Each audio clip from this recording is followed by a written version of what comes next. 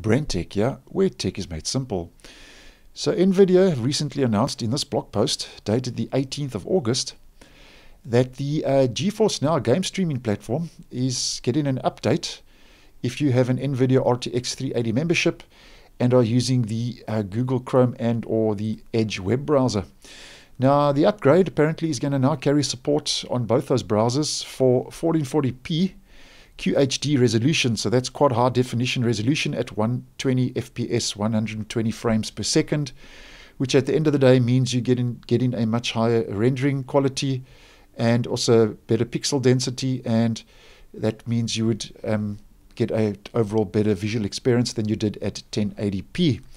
Now, um, at this stage, the blog post doesn't make mention of uh, any upgrades uh, in this regard to the Firefox web browser for 1440p, although Firefox has support um, for 120 hertz, but at this stage, no support for 1440p. So um, it's not known if this will um, be rolled out to Firefox, but at this stage, as mentioned, it's uh, limited to the Edge and the Chrome web browsers.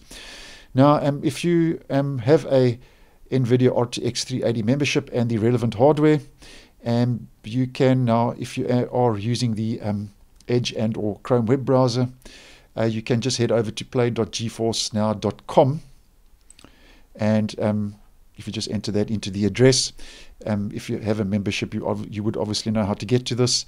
And uh, um, you head over to your settings, streaming quality, you change it from balanced to custom. Now, I don't have the hardware and I don't have a, a um, 380 RTX membership, but I'm sure that by the end of this video you will get the general idea. And yeah, you change the resolution. You'll find a new option here at the top to change that to 1440p. And the frame rate, obviously, you just change. You'll also have a new option for 120 FPS.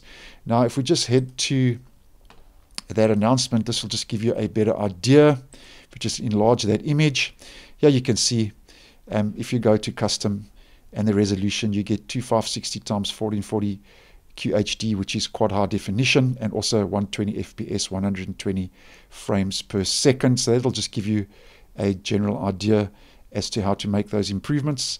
And I'll leave a link to this blog post in the description as it will just give you more information in case you're interested. But just be aware though that um, currently um, gameplay will use approximately 9 gigabytes per hour, as many of you may know. But if you make that change to 1440p, it's going to take you to 19 gigabytes per hour. So just uh, be aware of that if you um, obviously have a limited data plan or something in that region. So just take note of that, that it goes from 9 gigs to 19 gigs per hour.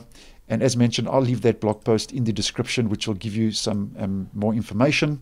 And at this stage, this update and upgrade is only available uh, for those of you with an um, RTX 380 GPU, obviously, and as mentioned, you need to have a RTX 380 membership. So thanks for watching, and I will see you in the next one.